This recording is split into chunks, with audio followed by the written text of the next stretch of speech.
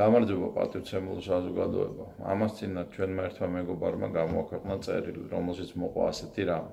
იმერეთიდან თბილისში ჩამოსულ კაცს, რომელიც ჩვენ ქალაქში ტაქსზე მუშაობს, თურმე ჩხუბი მოსვლია, ირანელ მამაკაცთან, რომელსაც მისთვის დამტრეული ქართული დამცინველად უთქვამს, მალე თქვენზე მეტნი ვიქნებით საქართველოში. ამ ამბავმა თავის ხრივ ასეთი რამ მომაგონა, ასე 13 წლის წინ ინდოეთში, უდეპურის მაჰარაჯას სასახლეში, ქორწილში ყოფნისას ერთი ირანელი კაცი მომიახლოვდა და ჩემ თეთრ ჯოხაზე მკითხა გურჯი ხარო გახლავარ მეთქი. უცებ ჩემ და გასაოცრად მეუბნება ჩვენ ადრე ერთი ქვეყანა ვიყავით და ოდესმე ისე მასე იქნებაო. გაუღიმე და გუშტად უთხარი რიქში ჩადექი მეთქი. ჩემს ვარმა მკითხა რას გულისხმობ? რას და? თურქების და რუსების და არაბების მაგას გვეუბნებიან და ვერცერც ვერ მოგართმევთ მეთქი. დაბნეულმა ხელი გამომიწოდა და ვიცნობდეთ ერთმანეთს. ვიცნობდეთ მეთქი გამეცნო გვარად სპარსი დიდებული გახლდათ მის ოჯახს რევოლუციის მერე ლონდონში მოუწია გაქცევა სადაც ახლა ცხოვრობს. მომახარა დედის მხრიდან შაჰაბასის შთამომავალი ვარ. განათლებული და წარმოსადეგი საქმოსანი კაცი გახლდათ. მის რა თქვენი სახელმწიფო მუზეუმის საცავებში ჩვენი ირანული ფერწერის ყველაზე ძვირფასი კოლექცია ინახებაო. მე თბილისსაც ეწვია და მის ანახავად და მეც მესტუმრა სტუმარი მივიღე როგორც ჩვენი წესია ამასობაში მის მიერ 13 წლის წინ ნაცინასწარ მეტყველები ლამის თვალწინ ამიხდეს. რაც მეოცნებებმა ნაცისტები განდევნეს ბინადრობის უფლებით ვაჭრობაში ჩვენმა მთავრობამ 80000 ასეთი უფლება გასცა მათი უმეტესობა ირანელზე და თურქზე. ერთი დრო შეჩერებული ქონდათ ეს პროცესი და მგონი უვიზო მიმოსვლაც კი, მაგრამ მე რეიმავაც ახსენებელი და დასაფრენი საკონსტიტუციო სასამართლოს მეშვეობით მოხსნეს ეს ბლოკი და გააგრძელეს ბაირამი, სანამ ჩვენი იდიოტი ლიბერალები ტოლერანტობას და ქვეყნის გახსნილობას გვიქადაგებენ და ისე ზულ ქართველი ერი, რადგან ეთყობა უმეტეს შემთხვევაში ქართული გვარების მიუხედავად ეთყობა ხშირად ქართველები თვითონ არ არიან, რომ იძახიან რა მოხდა თუ ქართველები უმცირესობაში აღმოჩნდებით საქართველოში. ამ პროცესში სამწუხაროდ ფულს აკეთებენ და მას პარლამენტში და დედაქალაქში ლობირებენ ის ხელმძღვანელი მოხელეები და დეპუტატები, რომლებსაც ბინების მშენებლობის ბიზნესი აქვთ დათრეული.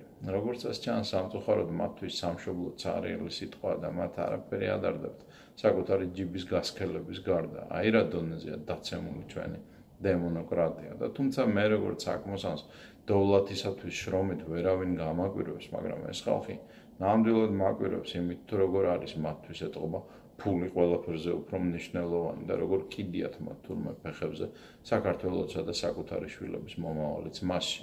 იმ ხალხისაგან განსხვავებით, ვინც უცხოეთში ყოფნისას სამშობლოში დაბრუნებას ნატრობდა და ვინც აქ გადმოსახლდა და აქ სკოლები და ქარხნები ააშენა და აღადგინა, ეს იმ ფსიქოლოგიის ხალხია, რომლებსაც მიაჩნიათ, რომ შვილების სკოლის ასაკიდანვე როგორც ამას თვითონ ამბობენ, აქაურობას უნდა მოაშორონ და რაც შეიძლება ადრეულ ასაკში უცხოეთში გაუშვან. ისინი ზოგჯერ ხვდებიან ხოლმე სვეცკი რაუტებზე და მეტრაბახებიან, რომ მათი შვილები უცხოეთში სწავლობენ სკოლის ასაკიდან და გაკვირვებით მიყურებენ ხოლმე, როცა ვეუბნები რომ ბავშვებმა სკოლა აუცილებლად საქართველოში უნდა დაამთავრონ ჩემი აზრით, რომ ჩვენ შეგვიძლია მივცეთ მათ აქ სოფლიო განათლების სასკოლო სოფლიო დონის სასკოლო განათლებასთან ერთად.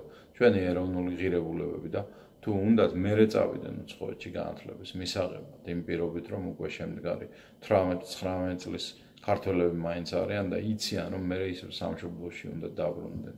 აუცილებლად აქ ქართული ოჯახები შექმნან რაც შეიძლება მეტი შვილი გაუჩინონ სამშობლოს და აქვე გაზარდონ ისინი და თავიანთი უცხოური განათლება და გამოცდილება აუცილებლად საქართველოს უნდა მოახმარონ როგორც ეს არაერთ ჩვენთაგანს გაუკეთებია. იმაზე რომ არაფერი ვთქვა რომ თუ ჩვენი ქვეყანა ასევე ვერ შექმნის სოფლიო კლასის უმაღლეს უმაღლეს სასწავლებლებს ჩვენი უმაღლესების ნამსხვრევების ბაზაზე მას მომავალი არ ექნება, მაგრამ ზოგიერთი მათგანისათვის ეს ეთყობა სიველურე ჟღერს და გონიათ რომ თუ სკოლის ასაკიდანვე არ გაუშვებენ შვილებს უცხოეთში, ისინი რაღაცას გამოაკლდებიან და ჩამორჩებიან. ის კი არ ესმით რომ ადრეულ ასაკში წასული ბავშვის ფსიქიკა ჯერ მოუმზადებელია და რომ ის ასეთ შემთხვევაში სერიოზული საფრთხის წინაშე დგას, დაკარგოს თავისი ეროვნულობა, ეროვნულობა, აღარც ქართველი იყოს და აღარც არაფერი სხვა, შუაში გაეჭხიროს და საწყალმა მეობის დაკარგვის შედეგად გამომწვეული უმძიმესი დეპრესიებით იწვალოს და ორ სამყაროს შორის გამოკიდებულმა საკუთარ სიამოვნებას ზდიოს, ნაცვლად ტკბილი და მყარი მრავალშვილიანი ქართული ოჯახის შექმნისა. ჩვენს ქვეყანაში უამრავ ხალხს უჭირს ოჯახისა და ახლობლების სარჩენად უცხოეთში საშუალოზე უწევს წასვლა და მათ შორის თავისი შვილების იქ წაყვანაც. ეგ სხვა კატეგორიაა და ღმერთმა ყველას მისცეს სამშობლოში, რაც შეიძლება მალე მალე დაბრუნებისა და აქ შვილების გაზრდის შემართება და საშუალება. მე აქ ამ ჩვენს თანამემამულეებზე არ ვსაუბრობ, რომელთა რიცხვსაც მეც გამეკუთვნები. მე ვსაუბრობ იმ ხალხზე, ვისაც დასავლეთი ფსევდო რელიგიად გაუხდია და მზადა საქართველოს ანაცვალოს მას და მიუხედავად იმისა, რომ საქართველოში არაფერი არ უჭირს, მაინც ამჯობინებს საკუთარი შვილების სამშობლოდან ნაადრევ ასაკში მოწყვეტას და მათ უცხოეთში გაზრდა საკაო და ჩემი შვილი რამეს შოუნას არ გამოაკლდეს. ვერც შოუნით და ვერც კონკურენციით ვერავის გაგვაკვირვებთ ბატონებო. არ გესმით კი სამწუხაროდ რომ ასეთ შემთხვევაში თქვენი შვილი ქართველობას აკლდება, რომელიც შეუძლებელია ადამიანმა მიიღოს მხოლოდ გვარითა და სისხლით და საქართველოს არ დადეგებზე სტუმრად სიარულით. ეს ის ქართველობა, რომლის შესახებაც ჩვენმა უწმინდესმა გენიალური სიტყვების თქვა, ქართველობა სრულიად წაკმარისია ბედნიერებისათვის. და რა თქმა უნდა, ის ადამიანები, ვინც არჩევანის შემთხვევაში ბავშვს ადრეული ასაკიდან უცხოეთში უშვებს, ძალიან დიდ საფრთხეს უქმნის თავისი შვილის ეროვნულ, ანუ ერთადერთ სწორ განვითარებას. არავის ჭკუას არ ვასწავლი, ყველას თავისი არჩევანი აქვს და ყველას ღმერთმა სიკეთე და ბედნიერება არ მოაკლოს, მაგრამ მე, როგორც ყველაფერ ამის გამომვლელ და მნახველ კაცს, ძალიან კარგად მესმის, რომ არ არსებობს ქართველისათვის სხვა სამშობლო გარდა საქართველოსი და ჩვენი ენის მამულის და სარწმუნოების დაკარგვით ჩვენ არაფერს არ ვიძენთ მათ საფასურს. ამის სანაცვლოდ. ეს უბრალოდ იმიტომ მოვაყოლე რომ გული მткиვა, როდესაც ხედავ რომ ჩვენი ეგრეთ წოდებული ელიტის გარკვეულ ნაწილს, რომელიც გაუთავებლად ტაშფანდურობს ამ ჭირის დროს, ერთმანეთს ეჯიბრება სხვადასხვა კურორტებიდან სელფების მარიაჟობაში და როგორც გიჟს ისე მიყურებს, როდესაც ამ თემებზე საუბრობ, ფიქრობს, რას ჩალეჩობს ეს კაცი და რისთვის აკეთებს ამასო. საერთოდ არ ესმის ის საფრთხეები, რომლებიც თითოეულ ჩვენთაგანს გვემუქრება. თორემ ლხინი და სუფრა არავის გვესწავლება. ასევე მე ძალიან წინს, როგორც ეს არაერთხელ მithქვას, ჩემს უკანასკნელ გამოსვლებში, რომ მე მომიწია ნარკოტიკების გამო ბიძინა ივანიშვილთან დაპირისპირება. გული მაქვს გატეხილი ჩვენს უნარობაზე ერთობისა, რომელიც ასე აკლია ჩვენ სამშობლოს, მაგრამ ერთობა შეუძლებელია ერთიანი მარადიულები, მარადიული ღირებულებების გარეშე. ჩვენთან კი სამწუხაროდ ასეა. ვისაც უჭირს უმეტესწილად ეროვნული და მორწმუნეა, ხოლო ვისაც უხინს ხშირად უეროვნებო და ურწმუნო, არავის წენინება არ მინდა. ძალიან ძნელია ჩვენ საზოგადოებაში გამონახო გამონაკლისები. იშვიათად ნახავთ, რომ ეროვნული და მორწმუნე კაცი საქმეში საქმეში ყოჩაღი იყოს, და ყოჩაღი ვინც მორწმუნე და ეროვნული იქნება. და სანამ ასეთი ხალხი ცოტა გვეყოლება, არავის წენინება არ მინდა. სულ ასე ვიქნები. მე მე იმედი მაქვს რომ ეს ჩვენი გახლეცილობა დაიძლება და რომ ეროვნული და მორწმუნე ადამიანი აღარ იქნება ამას ფარისეულად ამოფარებული ზარმაცი კაცის სინონიმი რომელსაც ზოგჯერ ორ ბაც ვერ მიაბარებ და რომ წარმატებული კაცი თავის ხრივ არ იქნება უეროვნებო და ანტიეკლესიური ადამიანის სინონიმი. ამაში 40 წლიანი ღვაწლი მიუძღვის ჩვენს პატრიარქს და სწორედ მას უნდა უმადლოდეთ რომ ჩვენი ეგრეთ წოდებული ელიტის უდიდესი ნაწილი მაინც ცემს პატვის ჩვენს ეკლესიას.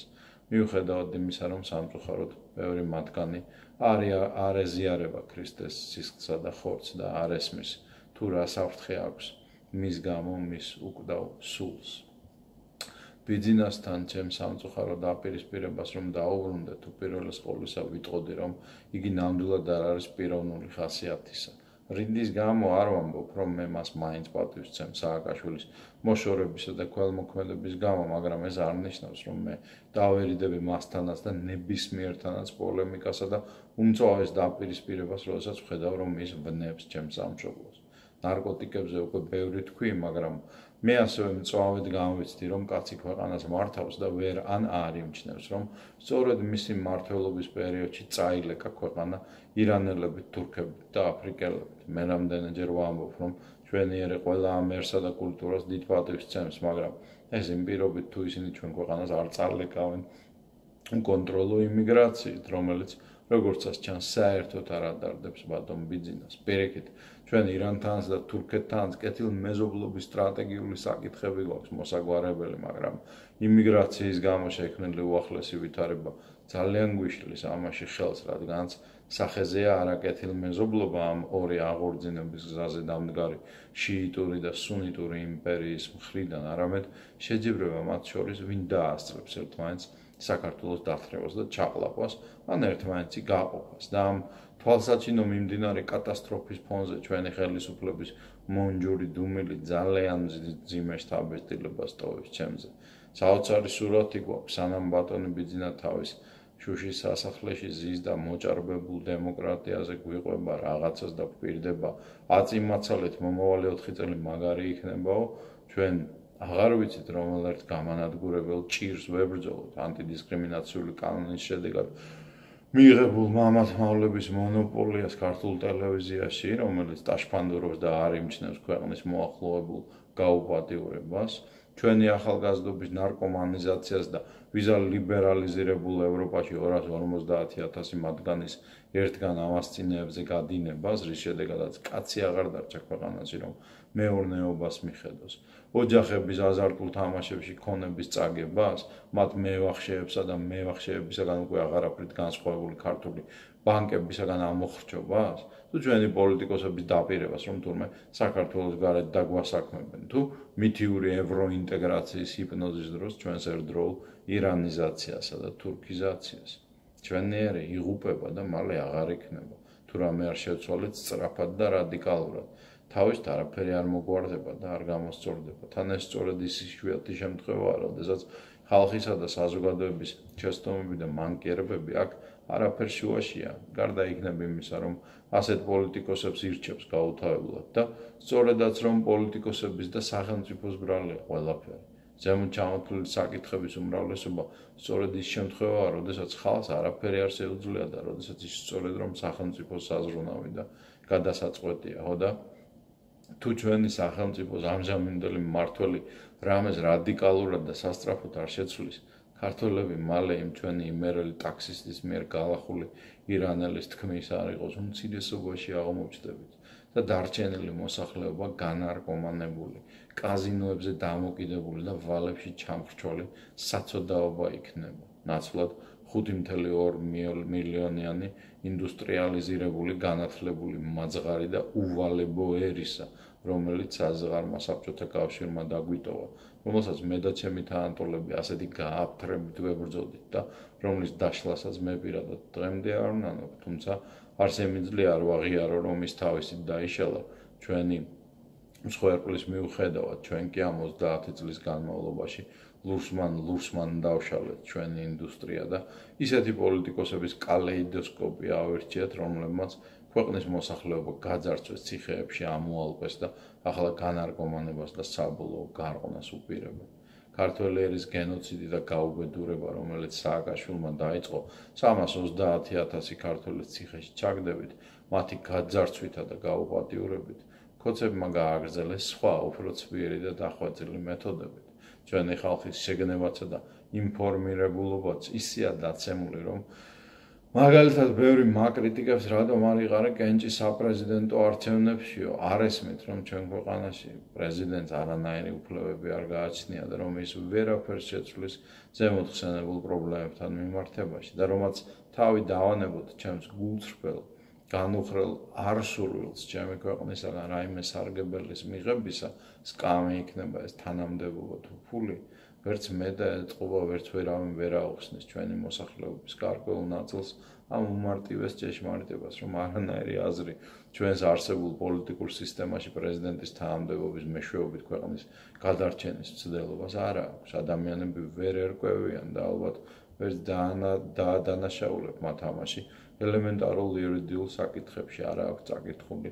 ჩვენ კონსტიტუცია არიციან თუ როგორ დაახეიბრა მიხეილ სააკაშვილმა საქართველოს პრეზიდენტის ინსტიტუტი როცა პრემიერის სკამს იმზადებდა რადგან აღარ შეეძლო პრეზიდენტად მესამე ვადაზე წასვლა და როგორ საბოლოოდ გაანადგურეს ეს ინსტიტუტი კოცებმა მარგველაშვილთან ძიძგილაობაში და მით უმეტეს როგორ უნდა აუხსნა ასეთ ხალხს ისეთი რთული საკითხები, როგორებიცაა ის ფაქტი, რომ სანამ ჩვენ ლიბერალურ დემოკრატიულ რესპუბლიკის სახელმწიფოებრიობას არ გავაუქმებთ და შვეიცარიისა თუ ისრაელის მსგავსი ჭეშმარიტი სახალხო მმართველობის სახელმწიფოებრიობაზე არ გადავალთ, ჩვენი ქართული სპეციფიკის გათვალისწინებით, როგორებიცაა ეკლესიასთან არსებული კონკორდატის ნამდვილი დაცვა და პატივისცემა და ძლიერი ეროვნული ლიდერის ყოლა. არ აქვს მნიშვნელობა პრეზიდენტი ერქმევა მას პრემიერი თუ ბოლოს მეფე თუ ამას ხალხი მოინდომებს. ჩვენ არაფერი არ გვეშველება ვინმე ამის მომსმენი მეტყვის ხო და არაფერი არ ყოფილა ბიძინას და კოცების ბრალი თუ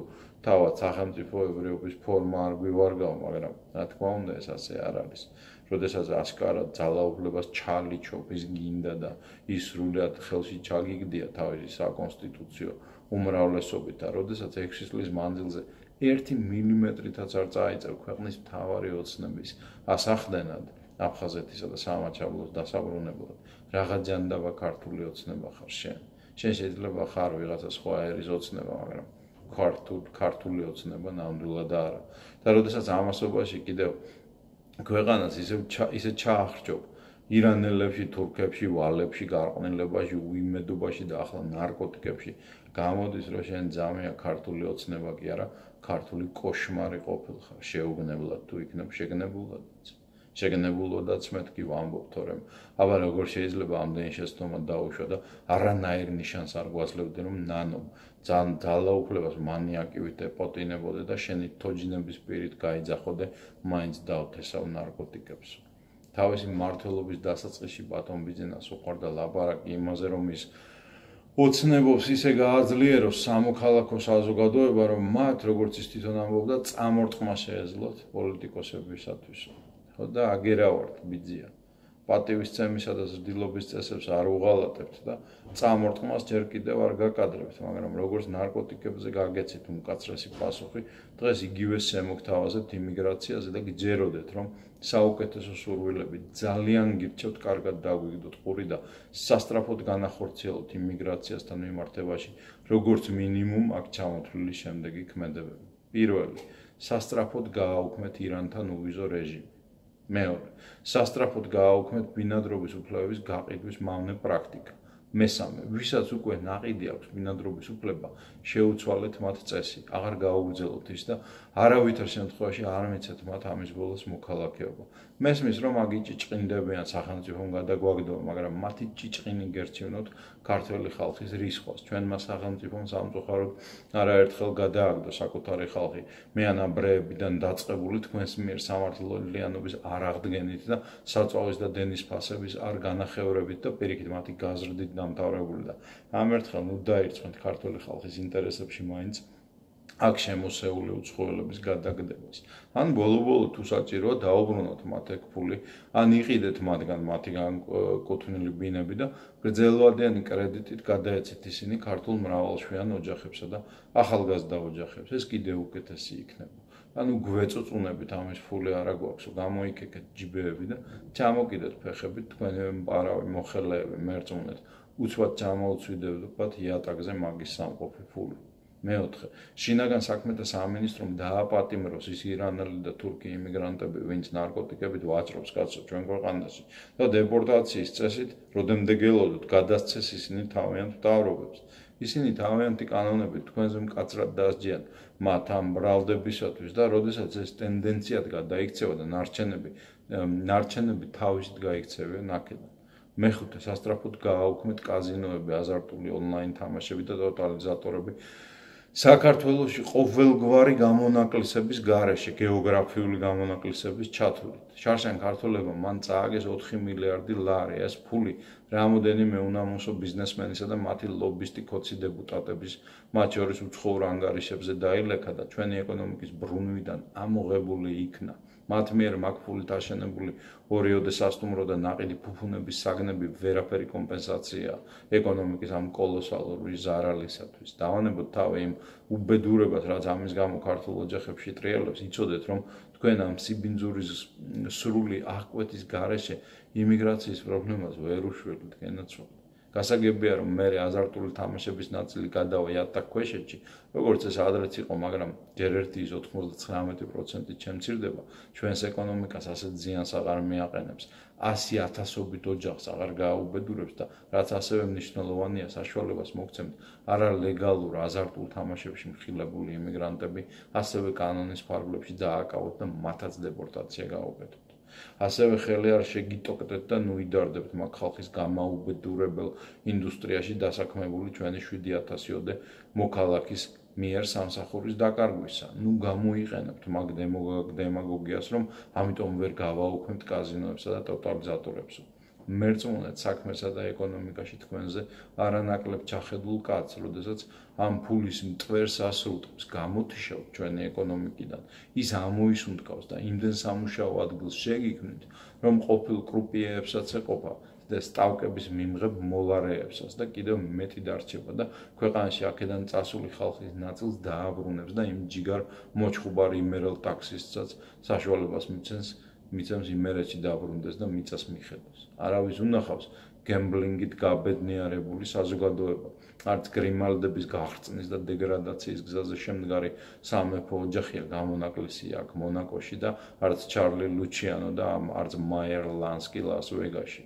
თქვენ კი ციტელ კანიანების რეზერვაციებს რომ დაგიმგვანებიათ ეს უძველესი კულტურის ხალხი და სააკაშვილის დაწყებული მავნე პრაქტიკა რომ უდრტვინველად გაგიგრძელებიათ რიყეზე იქნება ეს სიონის ეკლესიასთან თუ აღმაშენებლის გამზირზე. როგორ არ აქცხვენიათ საკუთარი თავის? როგორ გძინავთ ღამე და რას ხედავთ? როდესაც სარკეში იყურებით დილაობით. იგივე უნდა გააკეთოთ თბილისში თქვენი მართლობის დროს ასე გამრავლებული ბორდელებთან და პროსტიტუციასთან მიმართებაში. მეექვსე აჭარასა და ბათუმში ამუშავეთ ახალი კანონი, რომელიც მას სპეციალური სასაზღვრო ტურისტული ზონის სტატუსს მიანიჭებს და რომელიც სავალდებულოს გახდეს იქ, რომ ყველა ბიზნესის თანამშრომელი ლაპარაკობდეს ქართულად.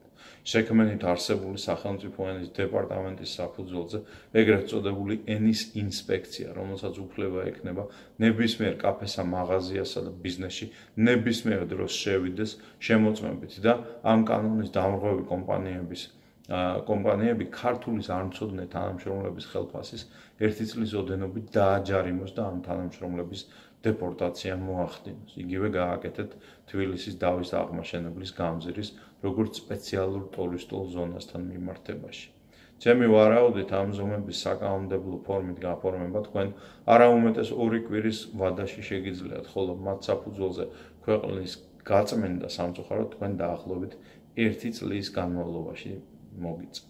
და ბოლოს უნებრივია თუ თქვენ ამას არაფერს არ გააკეთებთ, მაშინ ელოდეთ თქვენი მართლობის სამარცხინო დასასრულს ფართო მასშტაბიანი სახალხო პროტესტის შედეგად. ნუ მიიყვანთ ქვეყანას არეულობამდე, ყურად იღეთ ჩვენი სამოქალაქო საზოგადოების ხმა, რომლის გაძლიერებასაც ასე ნატრობდით, რადგან როგორც ეს ჩანს, თავიდანვე არ გესმოდათ, რომ ჩვენი სამოქალაქო საზოგადოება ყოველთვის ძლიერი იყო და რომ სწორედ ხალხის ნება მართავს ჩვენ ქვეყანას საბოლოო ჯამში, დღიდან საბჭოთა იმპერიის დანგრევისა. რაც არ უნდა გეჩვენებოდეთ თქვენ და რა ილუზიაც არ უნდა გაწუხებდეთ, რომ ძალაუფლება თქვენს ხელშია. ძალაუფლება ხალხის ხელშია.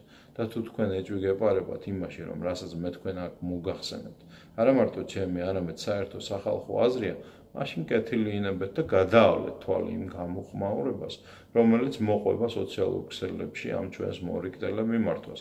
ამას მე ყოველგვარი ტრაბახის და ამ პარტავნების გარეშე გეუბნები და თავად დარწმუნდებით, რომ სწორედ ხალხის სათქმელს გეუბნებით თქვენ ჩვენ ახლა აქ.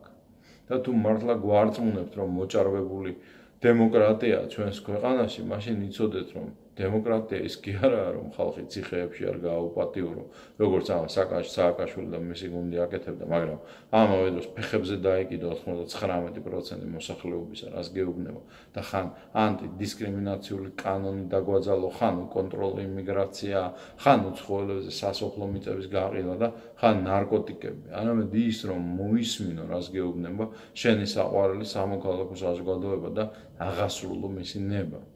შენდობას ვითხოვ თუ მკოვახედ მოგმართავთ, მაგრამ გული მткиვა და ქვეყანა ესეთ დღესია, რომ თქვენთან ლოლიავის აღარც დრო დაგრჩა და აღარც სურვილი. სამწუხაროდ თქვენ არ ინდომეთ ეროვნულ ძალებთან დიალოგი და თანამშრომლობა და სწორედ მაგიტომ ხართ ახლა ამ ჩიხში. ჩემი რჩევა ნუ გაიფუჭებთ თავს და ნუ მიიყვანთ ერს იმ მდგომარეობამდე, რომ ჩამოგაგდო. უამრავი სიკეთე გიკეთებია თან ქვეყნისათვის და არ იმსახურებთ ასეთ დასასრულს. გამოიბერწყეთ ყურები და შეისმინეთ, რასაც გეუბნებით.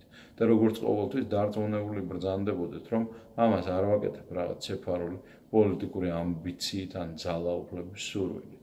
ნეტა საერთოდ არ მიწევდეს გამოსვლა და როგორც არაერთხელ მithkoms, ჩემთვის ვიყო ჩემ ოჯახთან და მეგობრებთან ერთად, როგორც ჩვენი თანამემამულეების 99 და 19%, რომლებისაც მე პირადად თეთრი შური შურს და რომელთა გარკვეულ ნაწილსაც არ ესმის და ეთყობა ვერც ვერასოდეს გაიგებს თუ რა მამოძრავებს ამ პირადად ჩემთვის და ჩემი ოჯახისათვის სახიფათო და უმადურ გზაზე. ამას წინათ ჩემი ერთ-ერთი კომპანიის მართველისათვის, სადაც ჩვენ ხალხს და მომწოდებელ გლეხებს ვასაქმებთ, ვიღაც მოხელეებს შემოუთვლიათ ბიზნეს და მის მინისტრებს, რომ გაბედა და აკრიტიკებს თქვენმა უფროსმა ის თუ იცის რომ მასთან საგადასახადო ინსპექცია არის შემოსულიო გამეცინა და არ მინდა დავიჯერო და სიმართლე გითხრათ არც მჯერა რომ ეს სიბეცე პირადად ბიზნესგან იყო შემოთვლილი. და არწუნებული ვარ რომ ეს ვიღაც მეათე ხარისხოვანი მოხელეს თვით შემოქმედებაა რომელსაც უნდა რომ მეფის კარზე ჯუჯა მასხარაობით წყალვა და ჯილდო დაიმსახუროს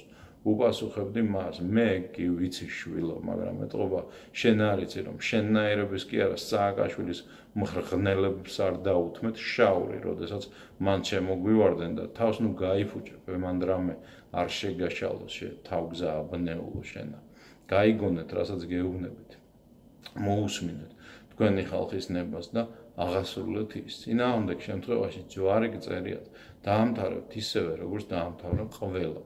ერთ-ერთ შემდეგ ტელემიმართვაში ან შემდეგ ტელემიმართვებში ვესწრები მოგახსენოთ ჩემი შეხედულებები იმის თაობაზე თუ რა უნდა გააკეთოს ხელისუფლებამ რათა ხალხს გაუსაძლისი ეკონომიკური მდგომარეობა შეუმსუბუქოს და ასევე თუ როგორ უნდა დაეხმაროს ის ამდენ გაუბედურებულ ნარკომანს და მათი ოჯახის წევრებს მომავალ შეხვედრას